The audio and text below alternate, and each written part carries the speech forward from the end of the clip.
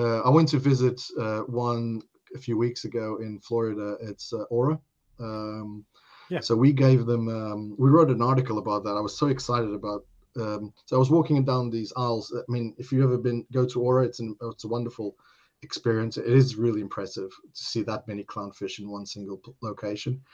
And you're walking through all these rows and rows of broodstock. And um, Dustin is the president. He was saying, "Oh, you need to come and see this." And and this is Mrs. TMC and Mr. TMC. "Oh, what do you mean?"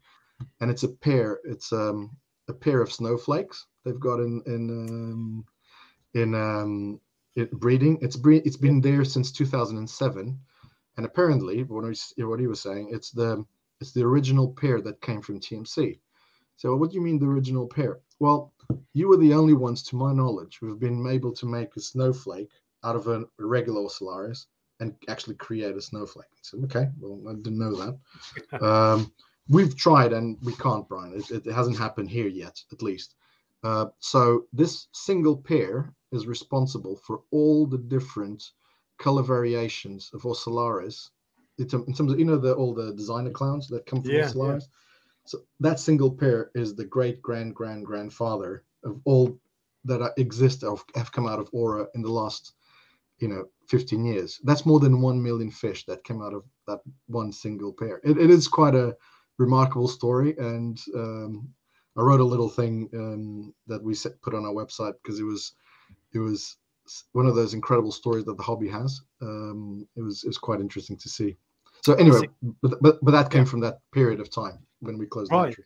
So and, and so you you so and you you basically invented, uh, if that's the well, it's not the right word, but you invented uh, No. snowflake. You, you you you were the first people. So snowflakes, from what I, I wasn't in TMC at the time, but but snowflakes, from what I understand, was uh, something happened in one of the tanks. We we uh, in one of the breeding tanks, and they started seeing these co- weird colored animals. And at the time, in the the market in the UK was really finicky with the. It had to be a perfect clownfish. It had to be a perfect clownfish. But but those ones had. Um, you know, we kept them because they they were slightly different color. It was just very strange uh, coloration. So uh, we kept a group of them, and then they en- ended up becoming, um, you know, uh, broodstock. They bred in TMC for about two years, and then they were sent to to ORA um, through through Quality Marine, so in, in the US, um, and they've been there since since then, breeding regularly every month. You know, every Because Uh, clown, it's- clownfish live for, for years. So my understanding is they can live for 20 plus years. Yeah, is that sure. about right?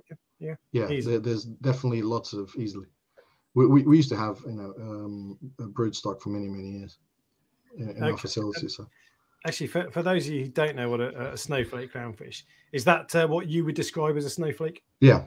Yeah. Yeah There we go. So, uh, and actually, this is this is not somewhere I, I thought we were going to go actually. But so, how do you this this? It was almost an accident that you ended up with with see yeah the, the, the- these are accidents and i mean then obviously after that it, it picked up the you know the the interest in these sort of different clownfish um they're now called designer clownfish picked up Mm.